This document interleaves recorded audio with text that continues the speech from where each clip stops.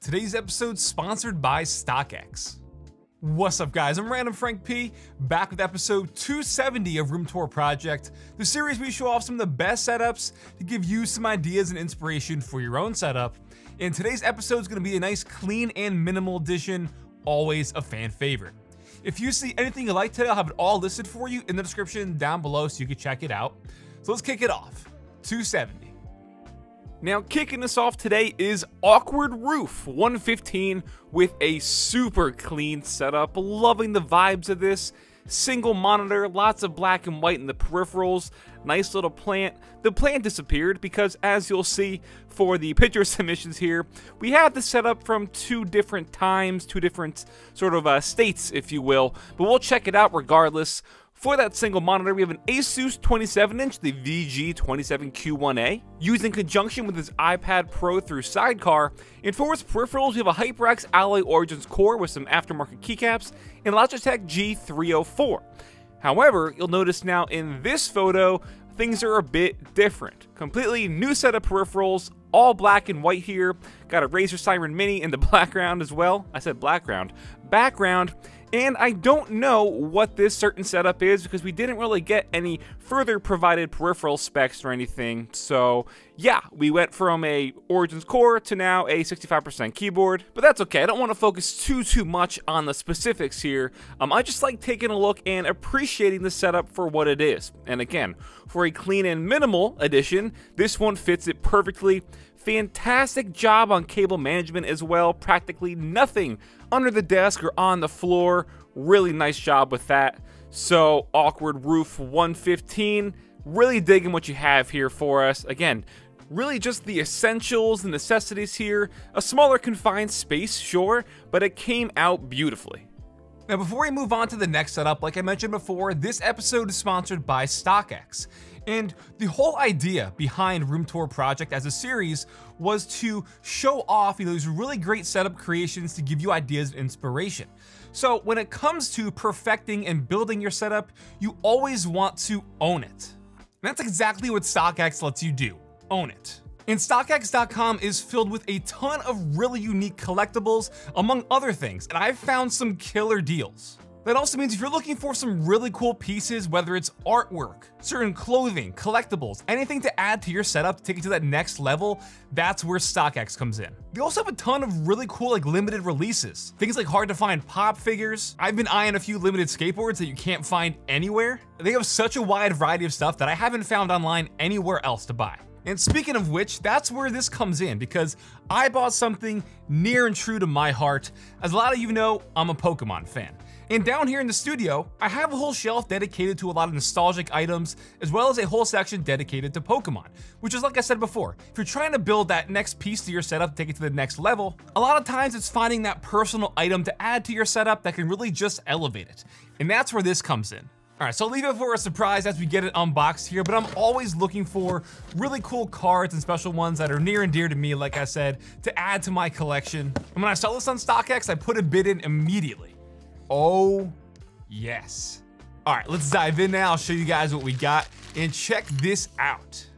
A shadowless holographic Mewtwo. Again, you know, if you're a 90s kid, Mewtwo was like the most sought after Pokemon out of all the lore, pretty much. Just like the rarity of the character itself. So picking this one up, long overdue. Man, I am just super pumped I was able to find this and pick it up to add it to the rest of my collection. So if you want to always own it as well, I'll have a link to StockX in the description down below. Next up, we have Daniel Titchener from his YouTube channel. He's going to be guiding us through his setup, which is a beaut, so I'll toss it over to him.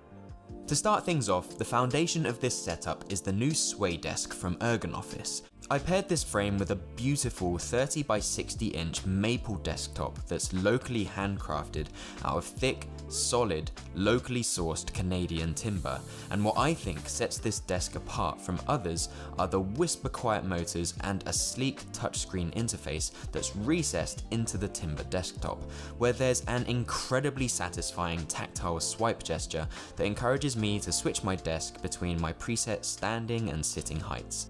This is my Gigabyte M32U, which is not only 4K and 32 inches wide, but also 144Hz for fast-paced first-person shooter games like Warzone. The reason I chose this monitor over others is because it provides a high enough resolution and color accuracy for video editing, but also a high enough refresh rate for gaming, meaning that I can do everything off one monitor, which is really helpful for satisfying my compulsive minimalist tendencies. Powering this whole setup is my NZXT H1 gaming PC, which really packs a punch for its tiny size, with a Ryzen 5900X processor and Nvidia 2070 Super graphics card, and as PCs are upgradable, I will be swapping these components out as needed, which makes a ton of financial sense when compared to something like a laptop or a Mac, as you don't have to replace the whole unit. Despite thinking it looks pretty awesome, I still decided to mount it to the underside of the desk using a really affordable PC mount which simply hangs it with straps. And because this case is so compact, it makes this small but mighty all-in-one setup almost invisible. On top of the desk, I added in a solid maple desk shelf from Grovemade that matches the maple desk perfectly. Under the desk shelf, there's still enough space to store and charge my laptop, which is the Razer Blade 14, which isn't really part of the setup, but I do keep it handy for travel and remote work, and here I can leave it to charge using a super sleek and compact 200 watt GAN charger from Ugreen that provides all of the super fast charging I could possibly need across all of my devices. Moving on to peripherals, I'm still rocking the Iquinix F96 Knight wireless mechanical keyboard, which has RGB LED backlighting that I usually leave off for battery life and cherry brown switches, which aside from suiting my minimal aesthetic by having really subtle lettering, it provides a gorgeous tactile and satisfying typing experience. I've paired this keyboard with a Logitech G305 gaming mouse that I debadged with some rubbing alcohol and I've found this to complement the keyboard perfectly as it's not only lightweight and highly accurate but it's also black with a really minimal and understated design. When using a keyboard and mouse, I've also found that using a soft, medium-sized desk mat really makes working at a desk a lot more pleasant to the touch. I decided to go for this grey synthetic leather desk mat to match the metal of the desk shelf, and because it's also relatively inexpensive, it means I don't have to worry about damaging it with things like heat or condensation from cold drinks. When it comes to lighting, I also added in a light bar that I got sent from BenQ, and the brightness and color temperature can be set to whatever your preference is using the wireless battery powered control wheel. Although my monitor speakers may be fine for occasional YouTube videos or podcasts, they are most definitely not clear enough for editing, gaming, or listening to music. So right now, I almost exclusively use my headphones, which are the Bose NC700s, and as you can probably see, they get a ton of daily use. To keep these conveniently on hand without ruining my uncluttered aesthetic, I installed a simple headphone hook and white pen drawer next to the desk interface, which not only keeps my headphones out of sight, but also makes this a hidden spot for pens and other small items. So again, really loving this setup. I'll put his channel in the description down below so you can check out his full setup video. Just loving it. Now we've got Dylan K coming in with the dual monitor setup here, completely black and white. Most likely edited photos, I'd assume, because there's just no saturation anywhere to be found. But again, it helps fits it uh, to more of that vibe, I'd say, right? So the main monitor is an LG 34-inch ultra-wide, with the vertical monitor off to the left being a 24-inch from AOC, and the LG Ultra Wide does have one of those monitor light bars up top to free up some of the desktop space since there is no physical desktop lamp. That chair, by the way, is the Haworth Fern chair. Figured I'd see a bunch of questions about it. Now, down to the peripherals of a really nice custom here. It's the KBD Fans Tofu 60 in E-White, pairing nicely to his Razer Viper Ultimate in the Mercury Edition on a Cooler Master MP510 mouse, and his IEMs are the Sennheiser IE300s for his audio, going right along with the Triangle Borea BR02 bookshelf speakers in white looking gorgeous here, powered by the SMSL SA300 amp. And then that microphone is the Shure MV7X. Now keeping that black and white going, over to the PC, loving this build with the Lian Li O11 Dynamic Mini Snow Edition case. We have an AMD Ryzen 5 3600 CPU with the NZXT Kraken Z53 White AIO, 32 gigs of T-Force Extreme ARGB RAM on an ASRock Steel Legend X570 motherboard with a Sapphire Nitro RX 5700 XT GPU. Man, oh man, that was a lot of gear for this setup, but also, again, a peak of cable management, beautiful job, 10 out of 10, absolutely nothing out of place. And that's the whole story for this entire setup here from Dylan. Absolutely nothing is out of place. It is pristine. It is a gorgeous, purposely black and white setup here. So nice. Then Oh my god, Brendan coming in with the jaw dropper, the knee slapper, with.